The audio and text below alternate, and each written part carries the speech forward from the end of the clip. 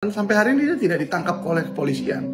Berarti kan tidak terbukti bahwa dia adalah pelaku Vina Cirebon. Kalian bilang selama ini dia pasti di backing, anak pejabat, anak polisi dan segala macam. Loh, kita dengar sama-sama ya, si Egi Ripra ini bahkan katanya buru bangunan. Dia mengatakan tidak kenal para pelaku, terus gak mengenal korban Egi karo Vina Ijen. Yo aku tambah mumetur bingung loh, Lur. Iki kunci siji-sijine ya. Saka, ayo diduga itu adalah uh, eksekutor utama dalam kasusnya Vina membantah bahwa dirinya adalah pelaku. Sebenarnya gini guys, jangan sampai ada orang lain yang menjadi korbannya sedangkan pelaku utamanya itu masih bisa bersenang-senang di luar sana. Akhirnya netizen bongkar bukti-bukti kejanggalan sosok Egi Ripra. Apakah benar dia Peggy yang asli pelaku Vina?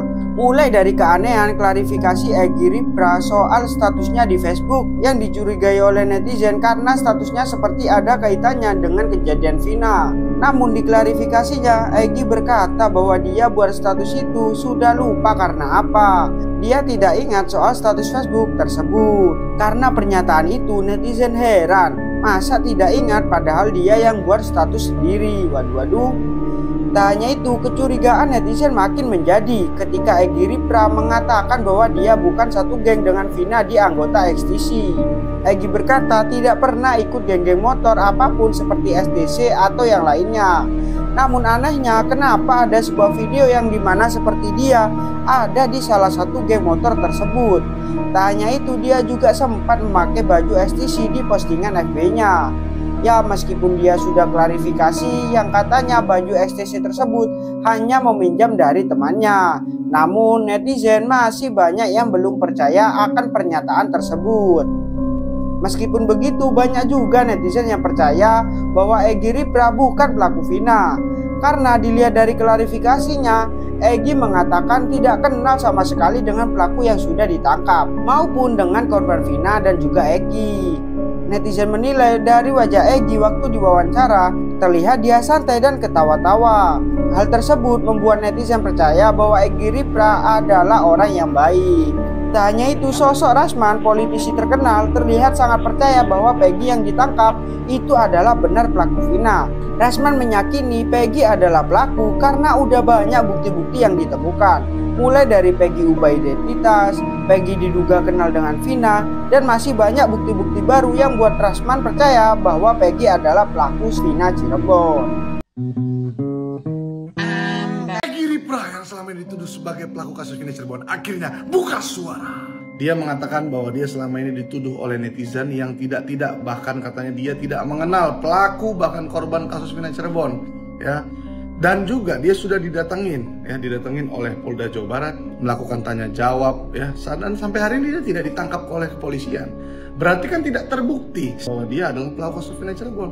Tapi kok masih dituduh-tuduh oleh, oleh netizen gitu loh ya. Banyak juga egi-egi yang mirip namanya dan kena korban salah sangka oleh netizen. Contohnya Peggy Setiawan yang dikira uh, anak mantan wakil bupati Cirebon ya. Itu juga dituduh Egi Gialola juga kena juga dituduh. Kalian bilang selama ini uh, dia pasti di backing, anak pejabat, anak polisi dan segala macam. Loh, kita dengar sama-sama ya, si Egi Ripra ini bahkan katanya buru bangunan. Ya kan, kalau memang dia bersalah, ya nggak ada yang backing ya pasti ditangkap dong. Secara kasat mata memang ada kecocokan antara si Egi Ripra ini dengan uh, pengumuman DPO yang kemarin, contohnya berkulit hitam terus uh, rambutnya keriting. Terus si Saka Tatal juga kemarin bilang uh, telinganya dipircing ataupun ditindik. Ya kan si Gripa ini juga kan telinganya pircing. Uh, ya tapi kalau memang uh, polisi mengantongi bukti dan saksi kalaupun si Egri Ripra ini adalah pelaku kasus Cirebon sudah pasti ditangkap dari kemarin.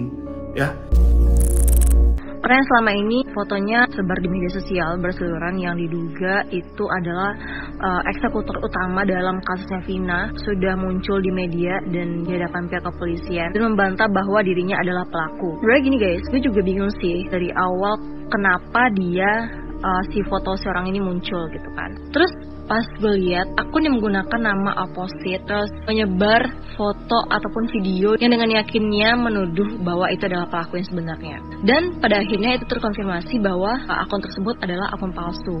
Akun yang menyebarkan berbagai informasi yang tidak kredibel dan memakai nama besar opposite. Memang belum tahu siapa pelaku sebenarnya. Walaupun udah ada Peggy yang ditangkap sebagai pelaku utama katanya, tapi gue dari kemarin juga masih uh, tidak meyakini karena belum tahu nih uh, ulasannya apa.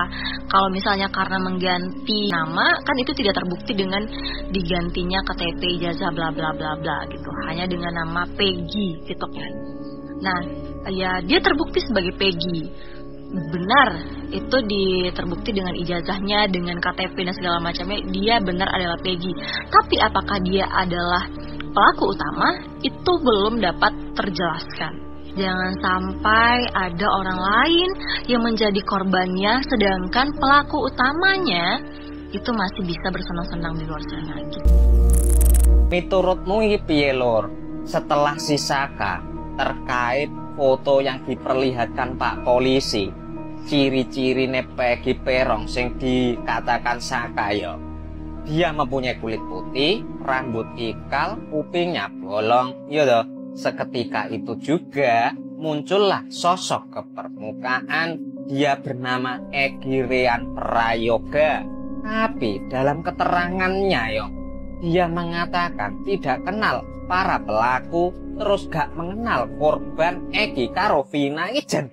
Yo aku tambah mumet bingung loh lur. Iki kunci siji-sijine yo. Saka, ayo Mas, sampean mulai nyanyi yang merdu lagi ya toh, supaya puzzle-puzzle misteri iki terkuat. Jadi sing terkait-terkait ikut terlibat, mending ikut jujur supaya meringankan hukuman kalian daripada berbohong, berbelit-belit, eh adalah di akhir ending cerita sampean tersangka ikut terlibat itu malah semakin menjerat hukuman loh mas jangan angel